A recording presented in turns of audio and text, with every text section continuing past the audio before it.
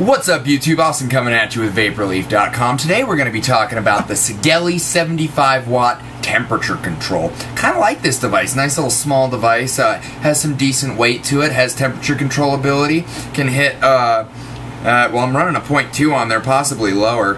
Um, and it's capable of hitting 75 watts, I believe 572 degrees in temperature control. So let's go ahead and dive down in, take a closer look at this guy, see what we're looking at.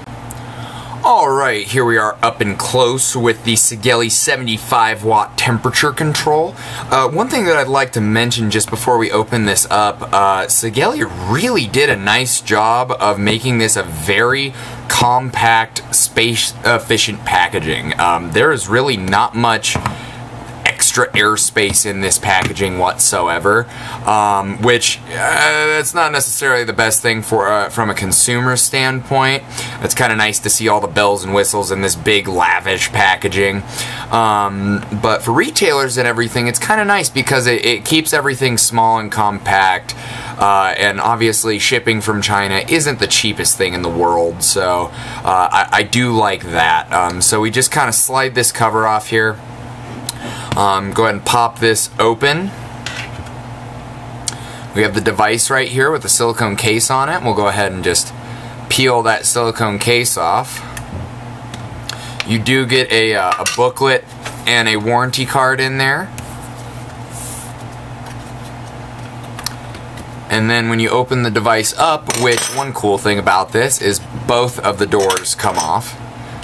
Uh, you have your charge cable right in the battery compartment right there. Uh, I will say this is kind of a dinky charge cable, but it is a micro USB, so most people should have extras of those that are longer and probably a little bit higher quality. Uh, but it does come with one if you don't have one. Uh, like I said, both of the doors uh, do come off. They both have these pins on them that slide in, or that are held into these slots, and then corresponding magnets to make sure they stay in place. As far as the contacts go, you have uh, copper contacts, you have the negative and the positive right there, and your positive contact is spring-loaded. Uh, not quite as much as some of the other single 18650 devices out there, but it definitely does have a spring load to it. Uh, and that, since it is a hollow body, essentially, it makes it uh, pretty remarkably easy to pop your batteries in as well as out. Uh, I, for a while there I was kind of struggling with it, wishing that they would have put a ribbon on it until a customer came in and just popped both doors off and pulled it out. I did not realize both doors came off. I was just pulling the one door out, kind of smacking it to get the battery out of there, uh, which I don't recommend ever, but I, I, thought that was really the only way you could do it. Happens that uh, all that you really need to do is pop off one side and then just kind of press, and it pops the door and the battery out.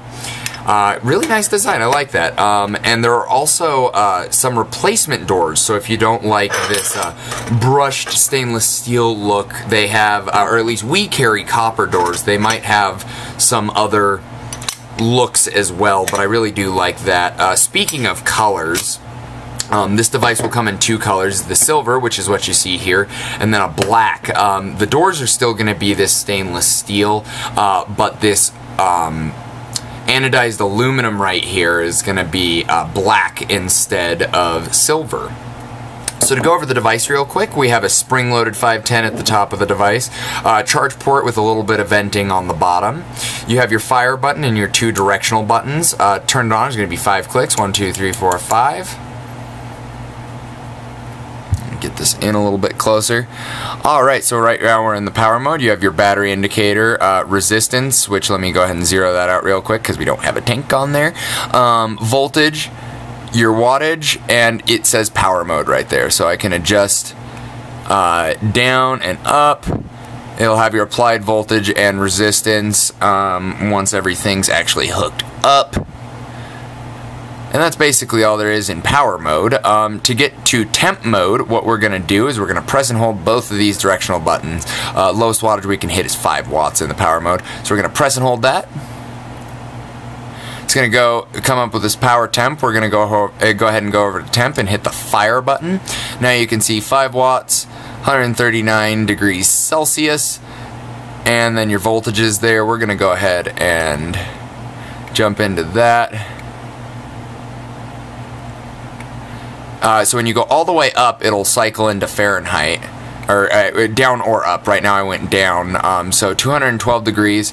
So it, it, that's how you can swap between the Fahrenheit. Just keep going to the bottom uh, or the top if you're maxed out. Um, we want Fahrenheit, obviously, so we're going to go ahead and stay in that. Then if you just click both buttons, um, you're going to have your wattage right there that you can adjust.